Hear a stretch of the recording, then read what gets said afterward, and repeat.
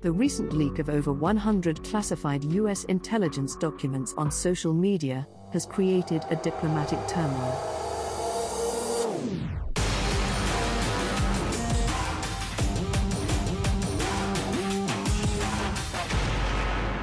The US officials are struggling to contain the fallout as the leaked documents contain alleged evidence of US spying on South Korea, Nigeria, and Egypt.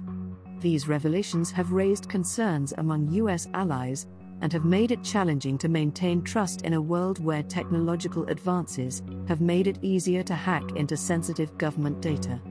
The South Korean government, for example, has expressed outrage over the alleged US spying on allies given the long standing alliance between the two countries to deter North Korea's aggression. The Biden administration is facing growing criticism from its allies for allegedly spying on them. The leaks have underscored the challenges of maintaining trust among allies. Similarly, a leaked US document has revealed that Egypt secretly planned to produce and supply rockets to Russia. The document states that President Abdel Fattah el Sisi planned to produce 40,000 rockets for Russia in February and instructed officials to keep the production and shipment secret to avoid problems with the West. The revelation has raised concerns among Western countries, as it could signal a shift in Egypt's foreign policy. In March 2023, classified U.S. military documents surfaced on an internet server revealing granular details of Ukraine's dwindling supplies and troop dispositions during Russia's full scale invasion of Ukraine. The leak has sparked fears of a possible rupture in trust between the US and its allies, particularly Kyiv, which is fighting to repel Russian aggression. Classified documents concerning the US and NATO's efforts to support Ukraine in the upcoming spring counteroffensive have been leaked on social media sites, Twitter and Telegram. The leak could potentially provide Moscow with a tactical advantage, providing intelligence about the timing of weapons and troop deliveries, as well as troop buildups. Military analysts predict that the spring strike will focus on Russian occupied territory in southeastern Ukraine. No more than five people know when and where the spring strike will take place, according to Ukrainian National Security Chief Alexei Danilov. The Defense Department launched an investigation into the leaks and acknowledges that they are legitimate Defense Department documents. Some content appears to have been altered to inflate Ukraine's casualty numbers, possibly to further Moscow's disinformation efforts. The Pentagon has opened an investigation to determine how the material was leaked or stolen.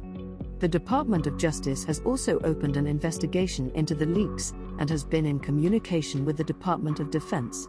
The documents include maps of Ukraine and charts on where troops are concentrated and what kinds of weapons are available to them.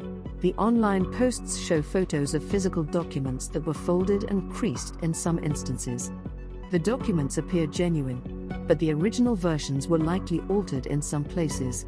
The death toll listed on one chart is around 71,000, which is considered plausible, but the Russian count is believed to be much larger, the leaked documents about the war in Ukraine do not contain battle plans for a widely expected Ukrainian offensive this spring. However, they do provide information about combat brigades that Ukraine is assembling and when they should be ready to fight. According to James Stavridis, a retired four star admiral who served as the 16th Supreme Allied Commander of NATO and currently working as an analyst for NBC News, cyber attacks on critical infrastructure are the future of warfare, and nations need to prepare accordingly. He argues that the US needs to take a much more proactive approach to cyber defense, and that includes developing better attribution capabilities and improving international cooperation. According to Stavridis, the US needs to make it clear to its adversaries that cyber attacks on critical infrastructure will not be tolerated, and there will be consequences. He suggests that the US government should consider establishing a cyber alliance of like minded nations to coordinate responses to cyber threats.